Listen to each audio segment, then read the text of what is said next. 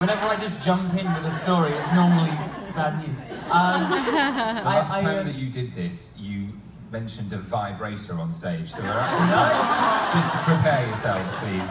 It's not that bad. It's not that bad. It's another story about Simon Cowell that um, that some of you might not actually know. So, as you know, for, for the final of Britain's Got Talent, we all sang.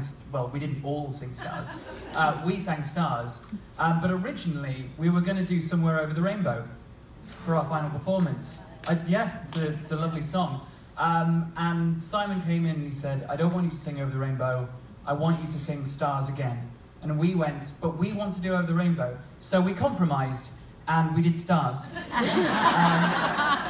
Um, but it was the right choice. Obviously, it was the right choice because uh, It was stars with the key change and lots of drums, Oh, which yes. is Simon's thing. That's it. And uh, you know, we're fast forwarding now. Um, so uh, your first album debuted at number one, uh, second debuted at number two. Uh, you, you've toured uh, extensively around the world. Um, you've worked with Barry Manilow. You've, you've worked with Cliff Richard. There's the Royal Variety Performance. Um, you know, the, the list is, is kind of endless.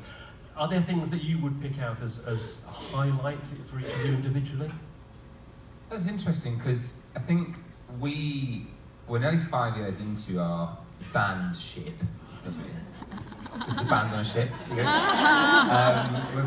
yeah. And we we basically have done have when we think about it done. It's mind blowing how much stuff we've done, and we, we actually tend not to sit and go through it because it would be quite shocking. I think if we thought about it, but I think for me, I, I the best thing for me is getting to travel. The travel is amazing, and you know we've done we've done so much stuff. We've had number one records in Japan. Uh, we did really well in the Philippines. We went out there early this year.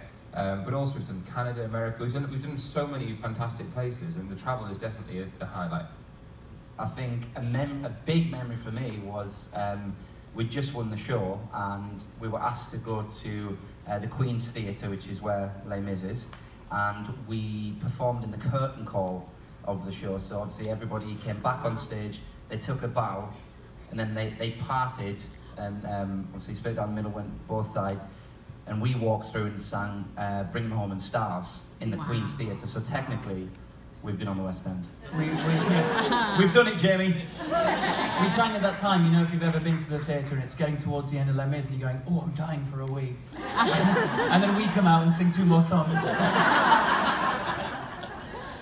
Um, I think for me, I'll never forget um, the first time we performed at the London Palladium was Sunday night at the Palladium.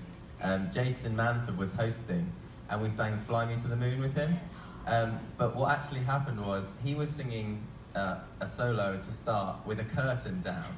So the first time we saw the audience was this curtain just came up, and we were just stood there, and I just I just remember that feeling of Everyone stood up. It was we're so, so nervous, but yet also this feels so right being on stage with these boys and doing this. So thank you all for letting us have this opportunity.